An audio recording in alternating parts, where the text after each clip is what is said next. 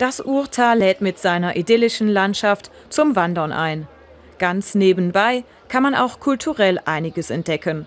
Am Weg zwischen den kleinen Grenzorten Welchenhausen und Stuppach stehen 30 Kunst- und Kulturobjekte auf deutscher und belgischer Seite. Am Wochenende wurde das jüngste Werk eingeweiht, der Stammtisch.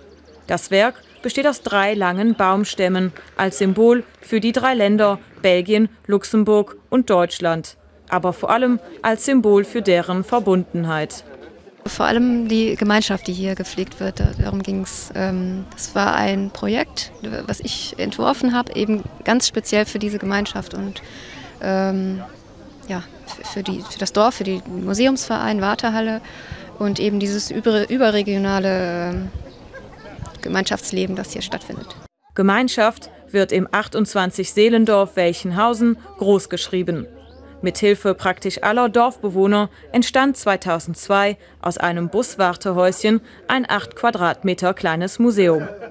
Nach und nach entwickelte sich dann das Projekt Kulturtalstraße.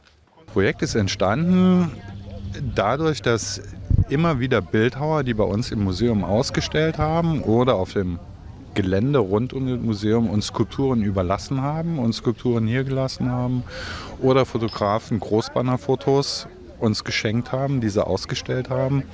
Und die wurden dann an der Straße entlang der Uhr aufgestellt, nach und nach. Und so entstand eine Sammlung von Kunstwerken, zeitgenössischen Kunstwerken. Auf dem zweieinhalb Kilometer langen Weg können Passanten moderne Kunstobjekte, aber auch historische Werke entdecken, wie die 300 Jahre alte Kapelle und andere religiöse Monumente.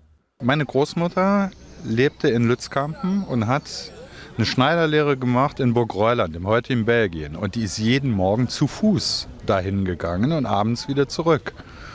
Und an jedem Wegkreuz wurde kurz hingekniet, ein Kreuz gemacht oder gebetet und dann ging es weiter. Die hatten für diese tiefreligiösen Menschen hier in der Eifel eine echte Bedeutung. Heute ist die Welt säkularisiert.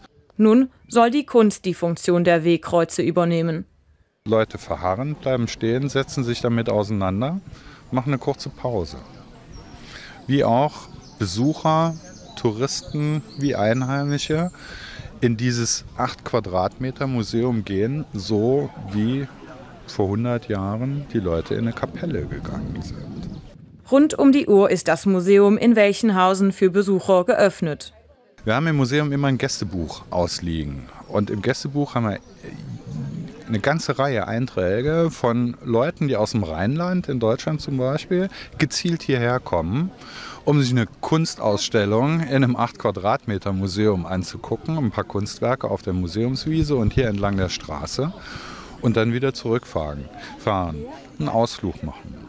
Also aus diesem Kuriosum Wartehalle ist eigentlich eine richtige Institution geworden mittlerweile. Nächstes Jahr wird der Museumsverein den Kulturweg verlängern.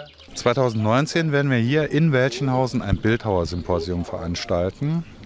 Acht Bildhauer werden hier vor Ort arbeiten und diese Skulpturen hier im Urtal belassen.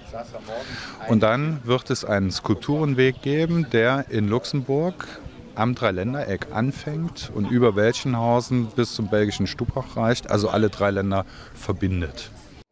Das Projekt Kulturtalstraße beweist, die Kunst kennt keine Grenzen.